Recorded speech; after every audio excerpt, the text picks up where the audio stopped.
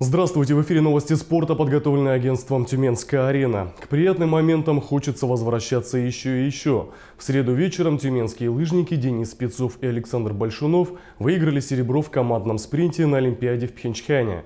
После окончания пресс-конференции с ними побеседовал Дмитрий Биков. Обязательная пресс-конференция длилась недолго, а после нее трехкратные призеры Олимпийских игр попали в распоряжение российских журналистов. В сентябре, в октябре перед сезоном о чем мечтал? О чем мечтал? Мечтал, наверное, впервые выступить на Кубке мира, попасть на Олимпиаду и принять участие в разделке на пятнашке. То есть одну гонку пробежать? Ну, у меня больше шансов и не было, в принципе. Если бы не вся эта ситуация, то не факт, что я попал на скиатлон и на дальнейшие гонки. На последнем этапе финала Александр Большунов сразу постарался вырваться вперед и убежать от соперников. Ну, просто не было смысла сидеть за этими ребятами, когда золотая медаль убегает от тебя. И потому что я понимал, то, что они послаб... ну, по вниз скорость тише, и мне я правильно сделал то, что сразу начал их обгонять и э, бежать своим темпом, своей скоростью. На финишном круге главная задача была ближе к финишу сохранить второе место. Была задача постараться приблизиться к Йоханнесу. Российские хоккеистки, в составе которых выступают тюменки Мария Баталова и Валерия Павлова, провели самый важный матч на Олимпиаде. В поединке за бронзу они встретились со сборной Финляндии. 3-2 победа Финляндии, а Россия уезжает домой с лучшим в своей олимпийской истории достижением – четвертым местом.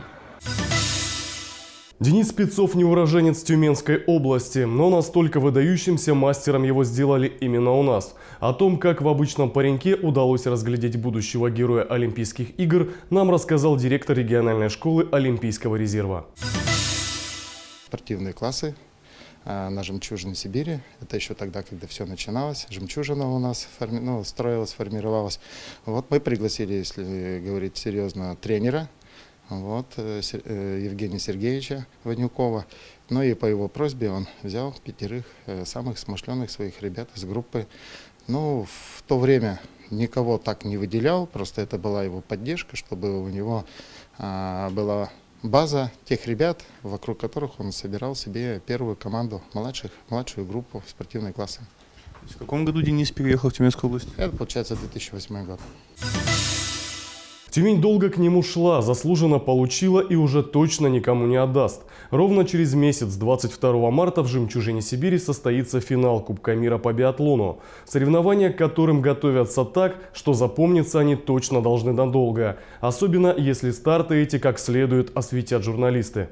Для работников средств массовой информации в «Жемчужине Сибири» создали все условия и даже заботливо провели пресс-тур, чтобы показать, где предстоит работать. Условия нового медиацентра впечатляют. Условия для работы приятно удивляют. С самого начала создания этого центра приезжаю сюда каждую зиму.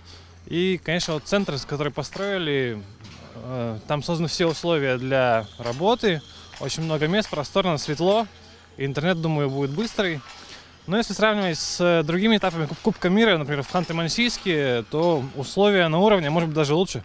Экскурсию для журналистов провел медиашеф предстоящих соревнований Андрей Душин. Он не просто ознакомил коллег с местом работы, но и провел их в микс-зону, где подробно объяснил, куда и почему во время гонок можно идти, а куда не стоит – Параллельно на трибунах не то чтобы кипела, а планомерно шла работа. Последние штрихи к оформлению трибун, которые уже через месяц заполнят тысячи болельщиков. И для фанатов, и для журналистов в «Жемчужине Сибири» все стараются сделать идеально.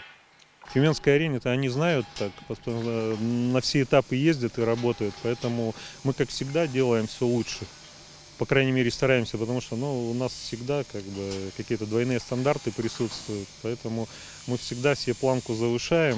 После пресс-тура журналисты получили возможность посмотреть спринтерскую гонку у мужчин в рамках Кубка России по биатлону, после чего отправились в редакции, где будут нетерпеливо отрывать листки календаря. Ждать осталось месяц. На сегодня у меня все. Еще больше новостей о главных спортивных событиях региона вы узнаете на нашем сайте asnta.ru. До свидания.